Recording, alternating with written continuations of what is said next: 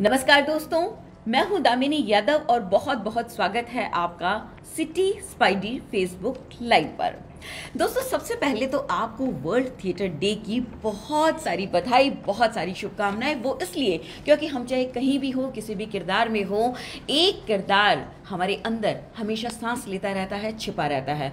अब यूँ तो राजेश खन्ना भी कह गए हैं कि ये ज़िंदगी एक रंगमंच है और हम सब इसकी कठपुतलियाँ। बहरहाल इस मौके पर बजाय इसके कि मैं अपनी बहुत सारी बातें आपसे शेयर करूँ या खुद अपना विज़न आपके सामने रखूँ, मेरे पास एक बहुत ख़ास मेहमान हैं, जो थिएटर की दुनिया का न सिर्फ़ एक जाना माना नाम है, बल्कि उन्होंने अपनी ज़िंदगी का एक बहुत बड़ा हिस्सा थिएटर के नाम किया है। चाहे वो मंच पर हो या मंच से परे हो, उनकी उपस्थिति न सिर्फ़ अपने देश में, बल्कि विदेशों तक से रही गई है। हिमांशु बी जोशी जी बहुत बहुत स्वागत है आपका। और मेरे साथ है मेरे सहयोगी केतन वैद्य। केतन वैद्य न सिर्फ़ मेरी टीम का हिस्सा हैं, बल्कि केतन ने थिएटर में भी अपने बहुत सारे हुनर दिखाए हैं। इन्होंने एक्टिंग भी की है, इन्होंने डायरेक्शन भी किया है और भी इन्होंने बहुत सारे ज़ख्म बोए हैं, बहुत सारी खुरापातें की हैं। इनकी भी नॉलेज का हम फ़ायदा ज़रूर उठाएँगे क्योंकि हमारी ये पूरी कोशिश है कि इस फेसबुक लाइव में आप न सिर्फ़ थिएटर की दुनिया से जुड़ी हुई कुछ बातें जाने, बल्कि हम चाहते हैं कि अगर आपके मन में कोई सवाल है, कोई जानकारी है आप चाहते हैं हमसे तो वो भी हम इस फेसबुक लाइव के दौरान आप तक पहुँचा सकें। तो हिमांशु बी जोशी जी, सबसे पहले तो मेरा सवाल आपसे ये है कि जो आर्ट फॉर्मेट है, कोई भी आर्ट फॉर्मेट हो, वो अपने आप में कंप्लीट ही कही जाती है, लेकिन हम थिएटर को कंप्लीट आर्ट फॉर्मेट क्यों कहते हैं? थिएटर एक तरह से सर्वसमावेशी कला है। इसमें अभिनय के अलावा बहुत सारी और चीज़ें भी होती हैं, जैसे म्यूज़िक होता है, दृश्यावली होती है, पीछे से सेट और उस तरह की चीज़ें होती हैं। उसके अलावा कॉस्ट्यूम्स होती हैं। उसके अलावा आजकल जैसे आपने देखा कि वीडियो भी आ गया है, इस तरह से आ रहा है चीज़ें। और जितनी तरह की कलाएँ हो सकती हैं पेंटिंग से लेके, कविता से लेके, साहित्य से लेके, वो सब कलाएँ जो हैं थिएटर में आ जाती हैं। इसलिए थिएटर को एक तरह से कंप्लीट कला कहा जाता है, पूरी तरह से पूरी कला कहा है संपूर्ण कला कहा जाता है। लेकिन इसको एक तरह से आपने दूसरी तरह से भी देख सकते हैं कि हमारे यहाँ पर आ, वेस्ट में जो एक रिचर्ड वैनर करके एक आ, जो ओपेरा कंपोज़र थे उन्होंने अपने टाइम पर इसको थिएटर को एक तरह से टोटल थिएटर कहा हम्म। उन्होंने कहा कि जिस थिएटर में सारी चीज़ें इकट्ठा होकर के हम्म। आदमी को इवोक करे आदमी को इंस्पायर करे आदमी को देखने के लिए ललचाए मतलब वो चीज़ें वो जो थिएटर है हम्म। वो टोटल थिएटर है और केतन आपने तो अपनी ज़िंदगी मतलब आपने जैसा कि मुझे बताया था कि आपने थिएटर की शुरुआत मतलब शौकिया की थी लेकिन उसमें आपने बहुत सारे रूपों में योगदान भी दिया। लेकिन अगर मैं ये कहूँ कि थोड़ी देर के लिए आप उन रूपों को भूल जाइए जो थिएटर में आपने डायरेक्शन या उस तरह की चीज़ों में बिताया। हम्म। बतौर दर्शक जब आप थिएटर को इस तरीके से देखते हैं कि ये कंप्लीट फॉर्मेट है तो आपने क्या महसूस किया?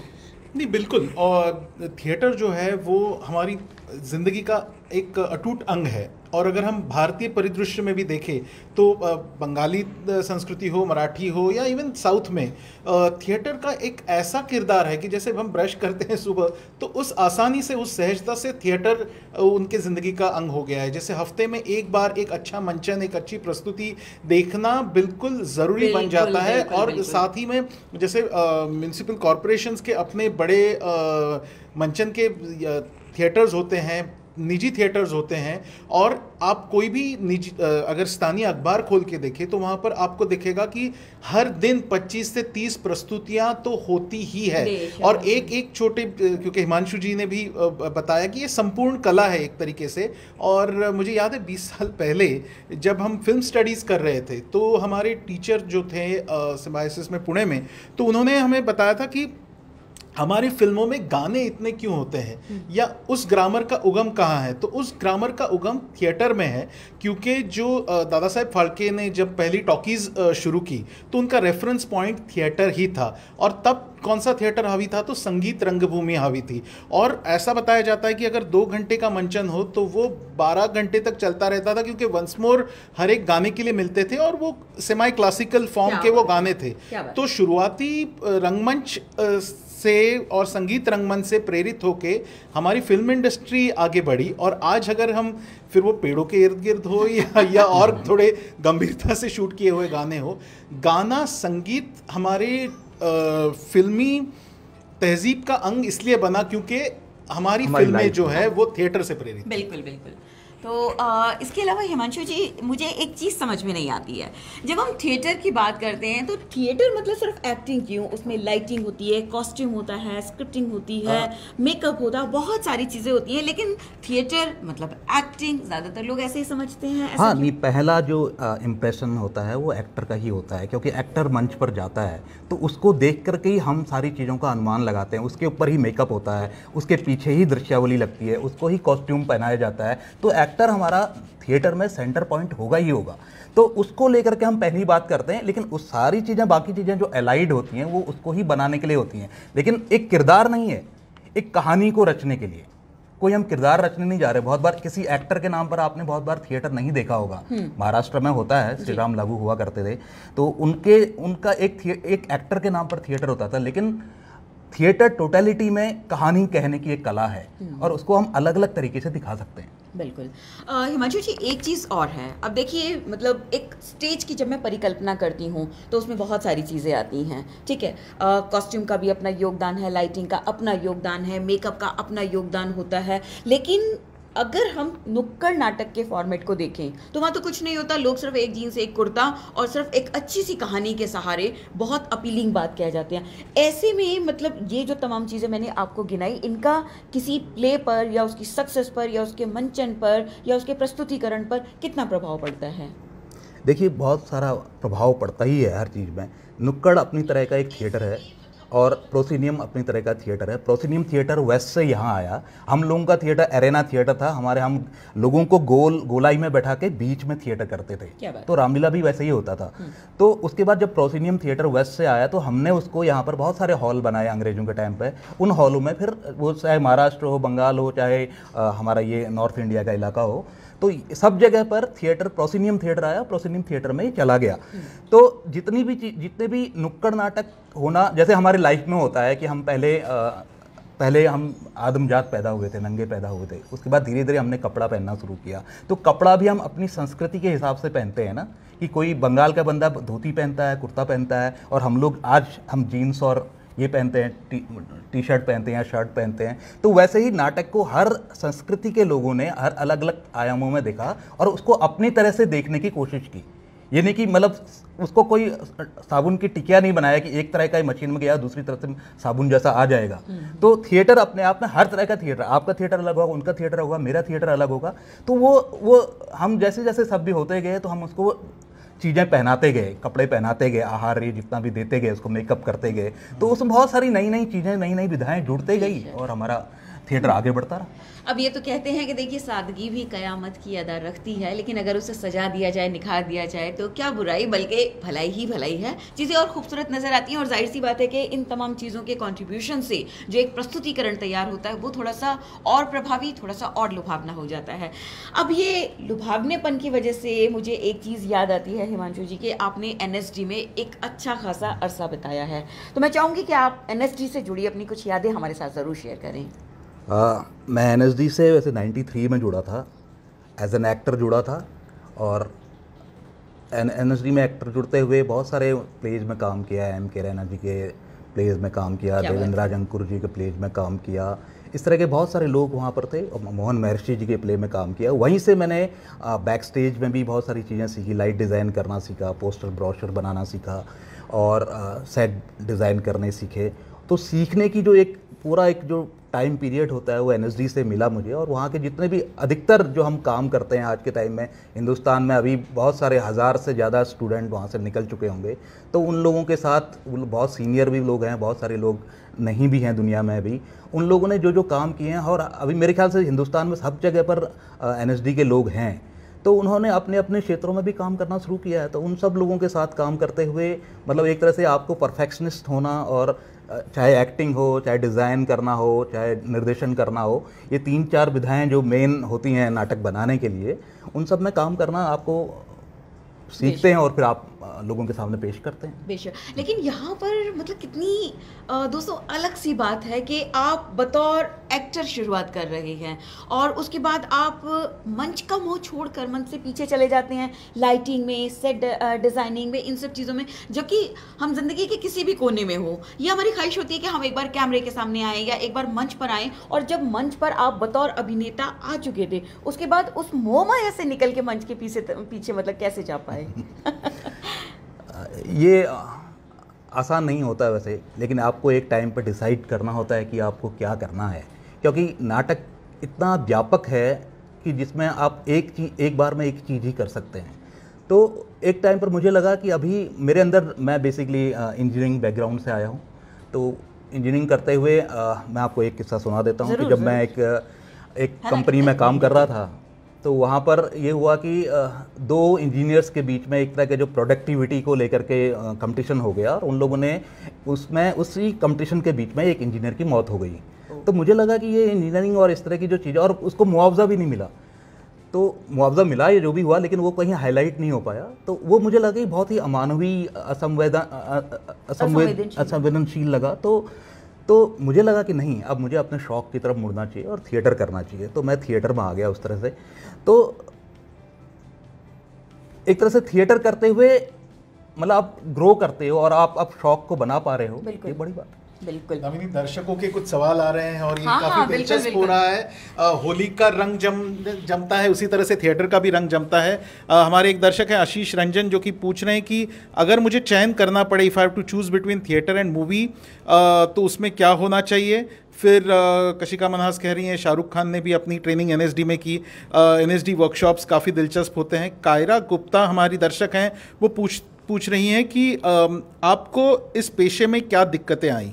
हाँ यहाँ पर हिमांशु जी, बल्कि मैं एक बात और जोड़ना चाहूँगी कि ज़्यादातर लोग आजकल ये कहते हैं कि जो थिएटर है, वो फ़िल्मों में एंट्री का टिकट है, पहला पायदान है। आप इस बात से कितना सहमत हैं? देखिए हमारे यहाँ पर जैसे आपने अभी महाराष्ट्र से बात की तो महाराष्ट्र में क्या होता है फ़िल्म और थिएटर के बीच में एक रिलेशनशिप है। वहाँ लोग थिएटर भी करते हैं और फ़िल्म भी करते हैं क्योंकि इंडस्ट्री वहीं पर है। लेकिन नॉर्थ इंडिया में क्या है कोई इंडस्ट्री नहीं है इसलिए लोगों को यहाँ से जो थिएटर करते हैं उनको फ़िल्म में जाने के लिए मुंबई जाना पड़ता है। नहीं तो पूरे दुनिया में कहीं चाहे आप लंदन ले लो यूरोप ले लो अमेरिका ले लो ऑस्ट्रेलिया ले लो या जापान ले लो उन सब जगहों पर एक्टर जो है और या एक्टर क्या जो पीछे जो काम करते हैं वो सब लोग भी थिएटर में भी काम करते हैं और फ़िल्मों में भी काम करते हैं। तो ये एक तरह का एक्सचेंजिंग है थिएटर क्योंकि थिएटर का ही एक्सटेंशन है मीडिया या बिल्कुल, फ़िल्म। बिल्कुल। तो हम जो भी कहानी गढ़ते हैं थिएटर में गढ़ते हैं वो कहानी हम फ़िल्म में भी दिखा सकते हैं। वो एक्सटेंशन है वो कोई उससे कोई ऐसी चीज़ नहीं है कि हम कोई अलग ही काम करने जा रहे हैं। तो नॉर्थ इंडिया के लोगों के लिए प्रॉब्लम है, हम लोगों के लिए कि आप फ़िल्म करनी है तो आपको बम्बई शिफ्ट होना पड़ेगा और बम्बई में जाकर के आपको फिर थिएटर के लिए टाइम ढूंढना पड़ता है या स्पेस ढूंढना पड़ता है, लोगों को मिलना पड़ता है वहाँ पर। तो एक लंबी कहानी हो जाती है, इसलिए लोग इसलिए लोग बहुत सारे लोग इसलिए थिएटर जो कर थिएटर करते हैं उसके बाद फ़िल्मों में जाते हैं और फिर वापस भी नहीं आ पाते हैं बहुत बार लोग। बिल्कुल। और और यहाँ पर अ, मतलब हिमांशु मैंने एक चीज़ ये भी महसूस की है कि लोग कमिटेड थिएटर की बात करते हैं कि जो लोग थिएटर करते हैं उनको थिएटर ही करना चाहिए वो फ़िल्म का टिकट क्यों बना लेते हैं? लेकिन यहाँ पर एक बात केतन मैं महसूस करती हूँ कि जितने प्ले होते हैं हम सबसे पहली चीज़ क्या देखते हैं? कि पास कैसे मिल सकता है? जान पहचान का कौन है? बिना टिकट एंट्री कैसे हो सकती है? मतलब हम किसी भी चीज़ पर बड़े से बड़ी रकम खर्च करने को तैयार होते हैं, लेकिन थिएटर या किसी भी परफॉर्मिंग आर्ट पर अगर मतलब हमें टिकट लेकर एंट्री करनी पड़े तो हम बहुत पीछे होते हैं। टिकट लेकर एंट्री करना और प्ले देखना हमारे कल्चर में जैसे शामिल ही नहीं है। अब ऐसे में हम, हिमांशु, ये क्यों उम्मीद करते हैं कि जो थिएटर के कलाकार हैं या जो थिएटर के एक्टर हैं, वो बिल्कुल संतोषजनक जीवन बिताते रहें, उनकी ज़िंदगी में चमक दमक ना हो? ऐसे क्यों? मैं एक तरह से ये मानता हूँ कि जो थिएटर है वो थिएटर राजस्वित ही होना चाहिए। सरकार को सपोर्ट करना चाहिए उसको क्योंकि ये एक तरह का जैसे एजुकेशन सिस्टम होता है ना थिएटर भी अपने आप में एक एजुकेशन सिस्टम है। जैसे यहाँ फिल, फ़िल्म और थिएटर के बारे में हम बात कर रहे थे तो फ़िल्म में एक तरह से जब जाते हैं तो वो एक तरह का बिज़नेस एंगल उसमें जुड़ जाता है। लेकिन थिएटर में वो बिज़नेस एंगल नहीं आया है और नहीं कभी आ पाएगा। जहाँ भी टिकट भी बिकते हैं माना दो लाख का आपने एक प्ले बनाया तो दो लाख के टिकट बेचने के लिए आपको दस साल लग जाते हैं या बहुत टाइम लगता है एक लंबा अरसा लग जाता है वो टिकट पैदा करने के लिए। तो जितना भी जो भी फंडिंग होता है वो सरकार से होनी चाहिए थिएटर को। हाँ। और उसी से उसी से वो चलना चाहिए थिएटर क्योंकि वो एक तरह का एक तरह की एजुकेशन पद्धति मतलब एजुकेशनल मॉडल है एक तरह का थिएटर जो वहीं से हम लोगों को जागरूक करते हैं वहीं से लोगों को ले जाते हैं थिएटर को। कुछ राज्यों में बिल्कुल कुछ राज्यों में राजाश्रय तो मिलता है थिएटर को आ, लेकिन जैसे अभी मूवी तो आज हमारी मूवीज़ बिग बजट अभी मैं दर्जे के सवालों में नहीं जाऊँगा लेकिन मूवीज़ बेहतर बन रही है या उसमें ज़्यादा इन्वेस्टमेंट हो रही है उसकी एक वजह है कि मंचन के कई सारे स्क्रीन्स इफरात स्क्रीन स्क्रीन्स जो है वो अ, मिल गए हैं। तो उसी तरह से थिएटर की मंचन के जितनी ज़्यादा मंच मिलेंगे उतना वो मल्टीप्लाइंग इफ़ेक्ट होगा और फिर इकोनॉमीज ऑफ़ स्केल जिसको कहते हैं वो थिएटर में आएँगी।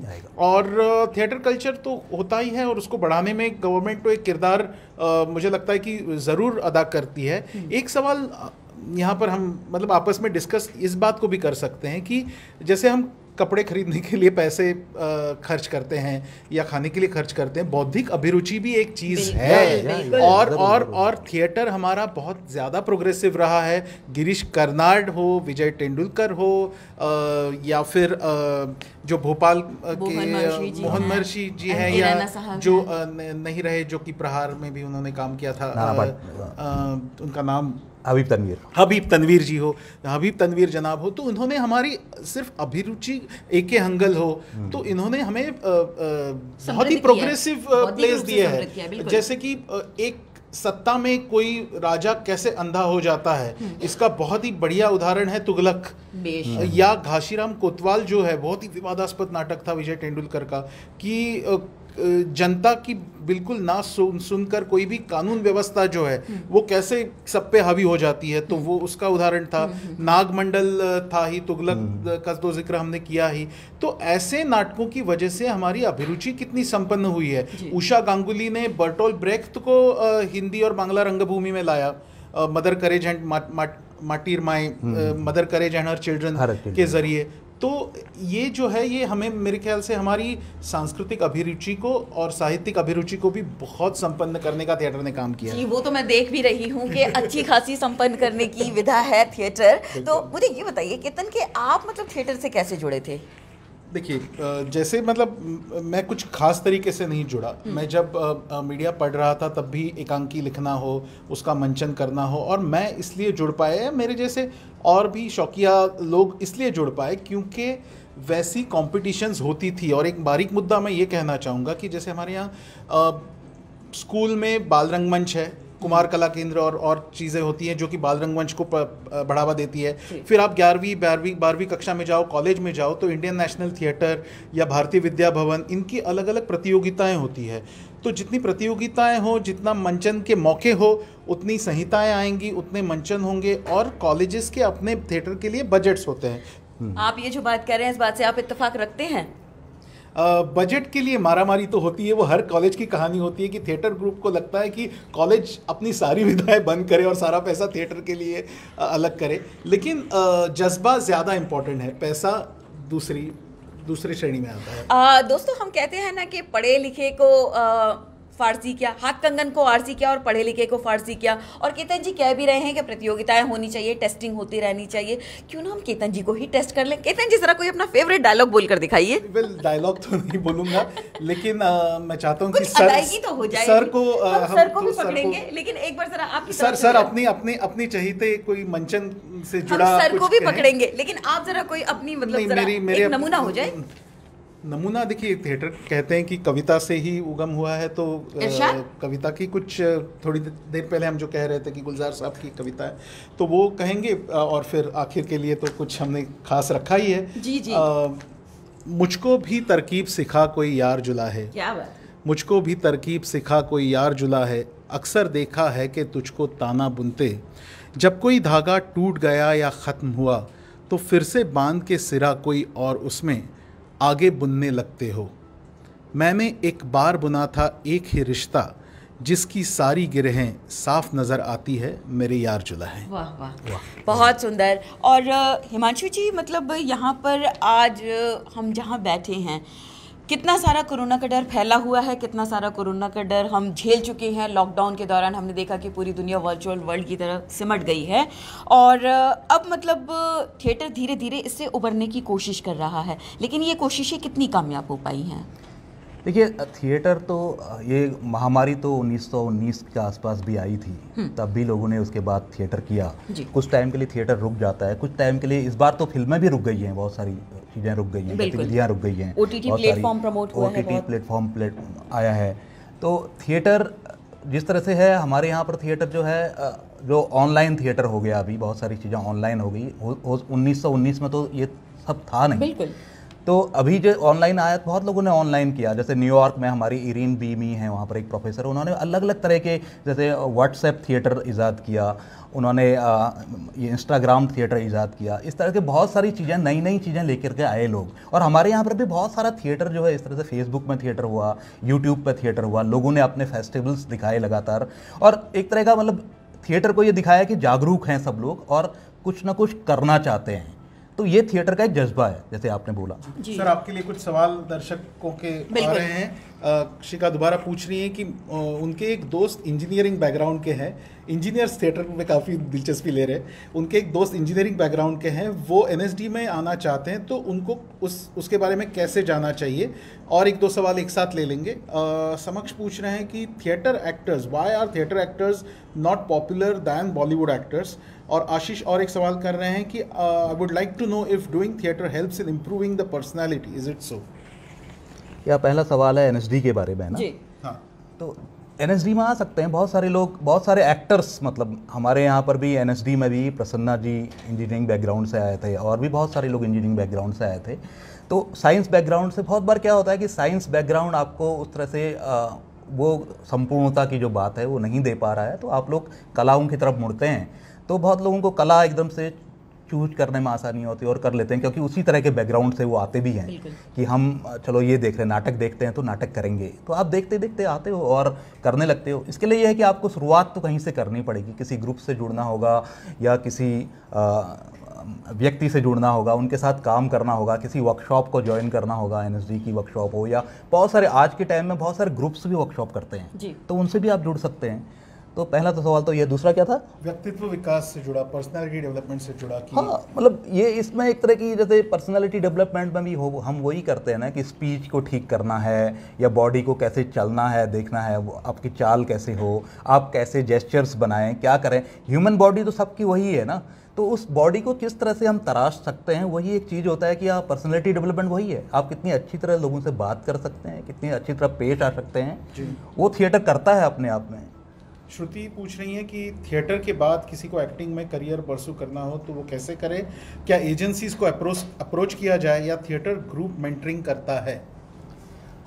थिएटर ग्रुप वैसे उस तरह से मेंटरिंग तो नहीं करता है लेकिन अप्रोच आप कर सकते हैं किसी भी तरह से कि आप अ, अपना जो रिज्यूमी बना करके लोगों को भेजें डायरेक्टर्स को भेजें अल्टीमेटली देखो फ़िल्म लोकप्रिय होना, जैसे लोकप्रिय वाला सवाल आया था तो लोकप्रिय होने के लिए तो फ़िल्म में ही जाना होगा, क्योंकि मास तक पहुँचता है। हम लोग कहते हैं कि थिएटर एक ऐसी विधा है जो जो अल्पसंख्यकों के लिए विधा है पचास लोग देख रहे हैं तो पचास लोग देखें। क्या बात? तो पचास लोगों के बीच में ही थिएटर हो। बहुत सुंदर जैसे अगस्तो बोल ने भी अगस्तो बोल ने जो थिएटर किया था वो रोड साइड में करते थे वो इंडिविजुअल थिएटर करते थे। जैसे हमारे बीच में ही आकर के लोगों के बीच में एक एक्टर कुछ कुछ बातें करने लगेगा हो सकता है राजनीति की बात करे सामाजिक उत्थान की बात करे कुछ कुछ बात करके हमको एक तरह से इंस्पायर कर दे वो हमको डिबेट के लिए इंस्पायर कर दे। तो उस तरह का भी थिएटर वो थिएटर ये थिएटर है।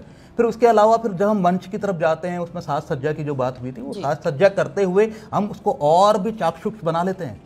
तो वो वो भी लोग देखते हैं। लेकिन जब आप पॉपुलर होना है तो आपको फिर ये ये एक तरह का जज्बा है थिएटर करना। ये इसमें उतना पॉपुलर नहीं होंगे लेकिन पॉपुलर हो जाते हैं लोग पॉपुलर हम जब लोग एक बार जैसे पटना गए थे या हम बंगाल गए थे तो वहाँ लोग हमसे ऑटोग्राफ लेने के लिए आए थे। थिएटर में भी होता है। लेकिन आपको ज़्यादा पॉपुलर होना है तो आपको फ़िल्मों की तरफ़ मुड़ना पड़ेगा। और और यहाँ पर ही तो ये चीज़ देखने को आती छोटा सा है। पूछना चाहता हूँ। हबीब तनवीर जी की बात हमने छिड़ी। तो आपने कहा कि अ, लोगों को ऐसे होता है कि थिएटर से पैसे नहीं मिलेंगे हमारा घर कैसे चलेगा? हबीब तनवीर और आप उस पर ज़्यादा गौर कर सकते हैं सर। मैंने सुना था कि अ, जो किसान है तो वो दिन में खेती करते थे और फिर बाद में थिएटर सीखते थे और उसका मंचन भी करते थे।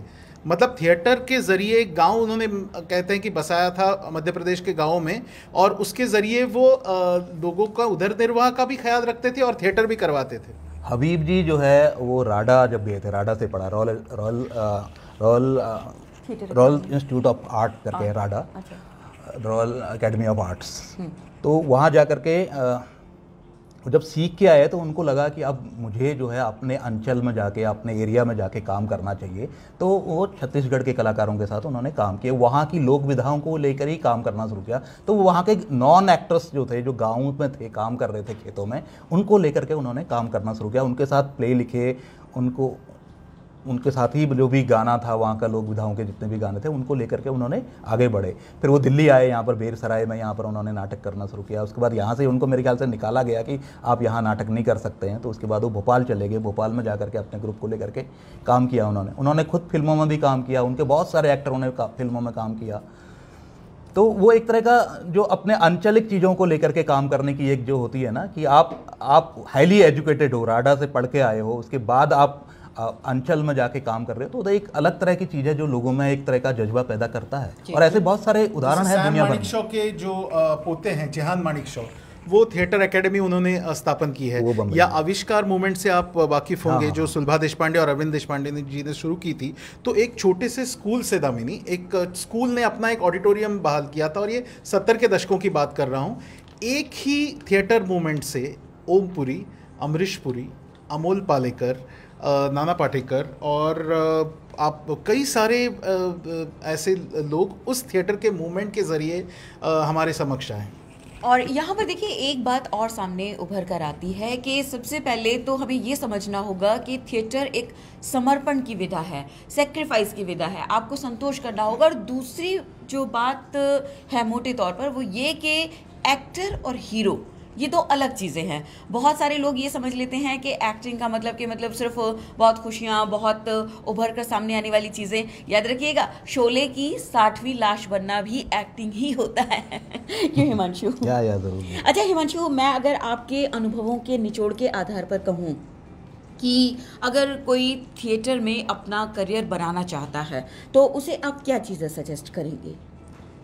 मैं तो यही कहूँगा कि साहित्य पढ़िए। हम्म, थिएटर का पहला चीज़ जो है साहित्य से आती है तो साहित्य में बहुत सारे किरदार, बहुत सारी कहानियाँ आपको मिल जाती हैं, वो करिए। उसके बाद आप बहुत सारे ग्रुप्स हैं थिएटर करने वाले लोग वो आप कहीं भी किसी भी देश में कहीं भी जाएँगे तो थिएटर करने वाले ज़रूर मिलेंगे आपको।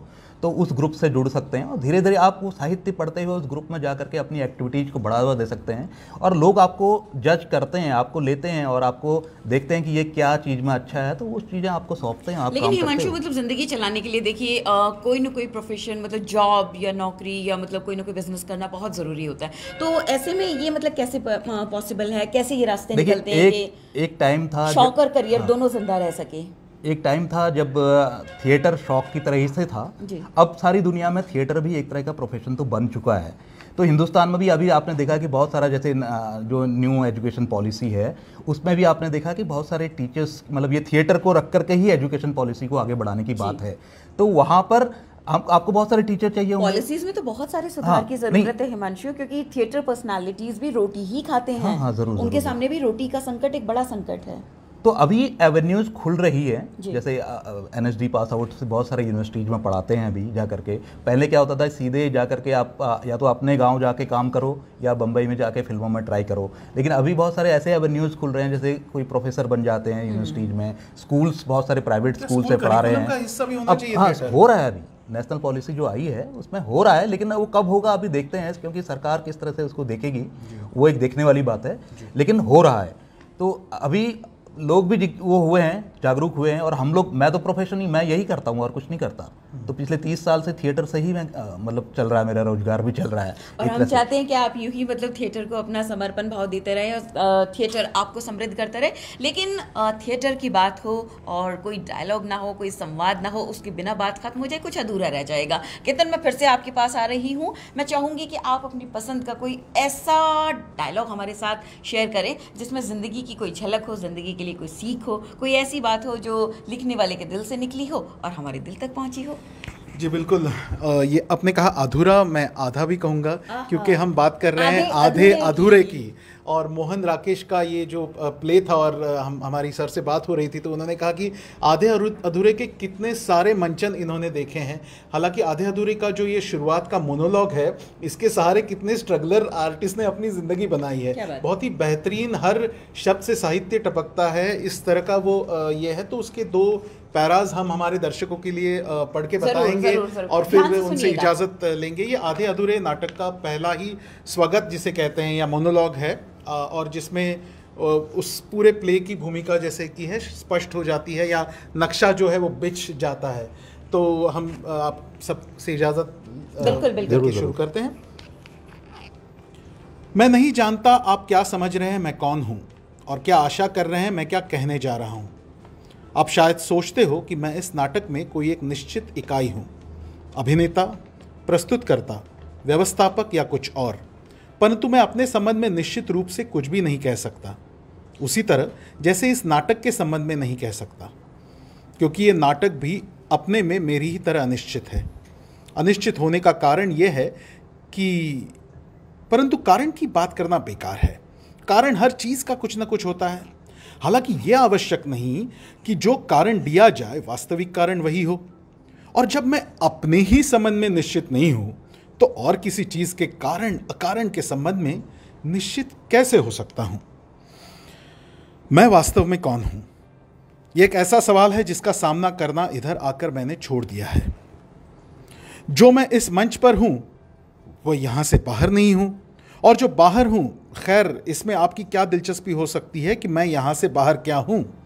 शायद अपने बारे में इतना कह देना ही काफ़ी है कि सड़क के फुटपाथ पर चलते आप अचानक जिस आदमी से टकरा जाते हैं, वो आदमी मैं हूँ। आप सिर्फ़ घूर कर मुझे देख लेते हैं। इसके अलावा मुझसे कोई मतलब नहीं रखते कि मैं कहाँ रहता हूँ, क्या काम करता हूँ किस किस से मिलता हूँ और किन किन परिस्थितियों में जीता हूँ। आप मतलब नहीं रखते क्योंकि मैं भी आपसे मतलब नहीं रखता। और टकराने के क्षण में आप मेरे लिए वही होते हैं जो मैं आपके लिए होता हूँ। इसलिए जहाँ इस समय मैं खड़ा हूँ, वहाँ मेरी जगह आप भी हो सकते थे। दो टकराने वाले व्यक्ति होने के नाते आप में और मुझमें बहुत बड़ी समानता है। यही समानता आप में और उसमें उसमें और उस दूसरे में, उस दूसरे में और मुझमें। बहरहाल, इस गणित की पहेली में कुछ नहीं रखा है।